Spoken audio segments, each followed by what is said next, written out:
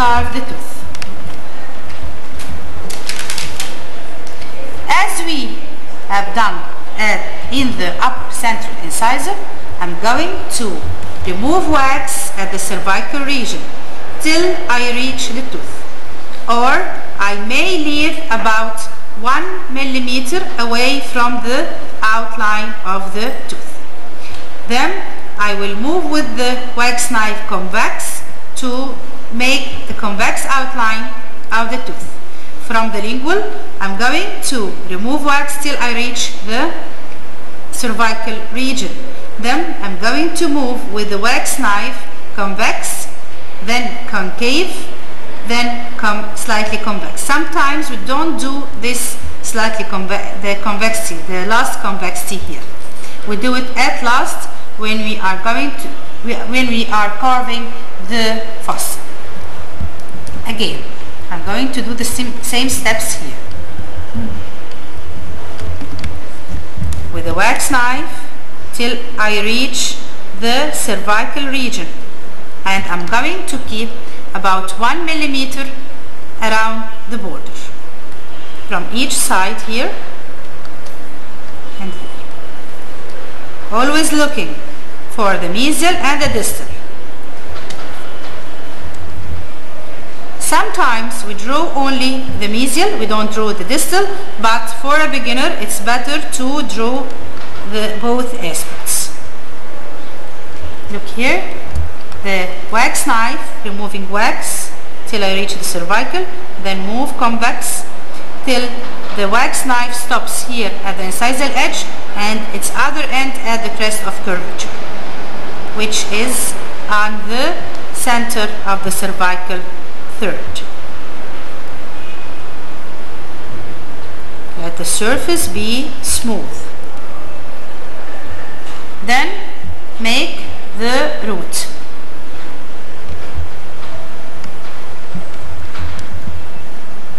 Remove wax of the root. Always I'm looking from the mesial and the distal sides. Here.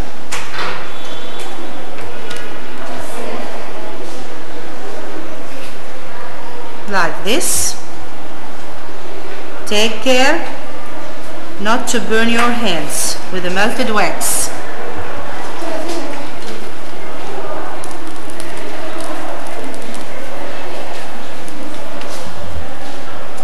Then round up the apex. Round up the apex like this.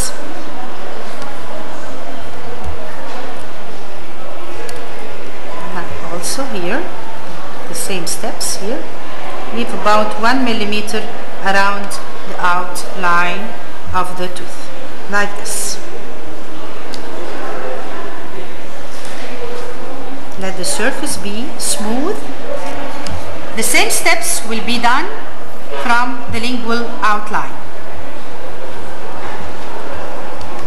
Side the cervical, cervical line, touch the cervical line with the wax knife.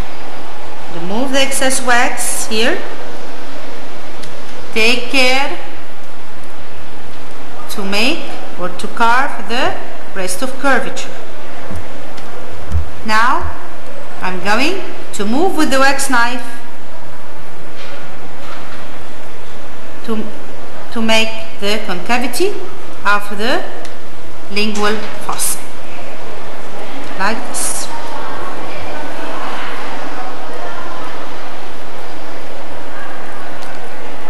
leave about one millimeter around the border. Then make the outline of the root.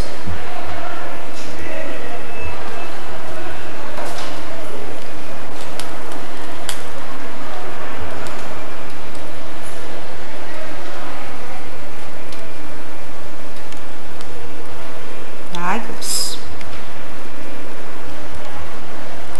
You always look from the mesial and the distal sides in order not to remove more wax from one side more than the other.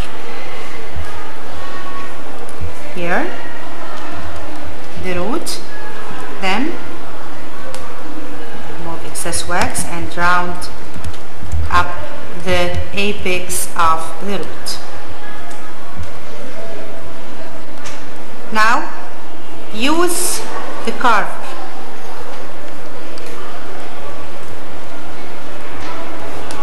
to remove the excess wax or the 1 millimeter wax you left around your border. Here is the lateral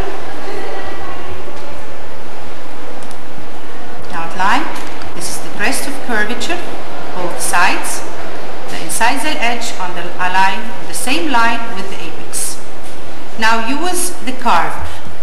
Like this. Remove a very thin layer from the wax till you reach the outline you of the tooth. Like this. Take care. The surface should be smooth. Here again. All over the tooth. Here again. Take care. The crest of curvature at the center of the cervical third. Don't remove, remove it while you are removing the excess wax.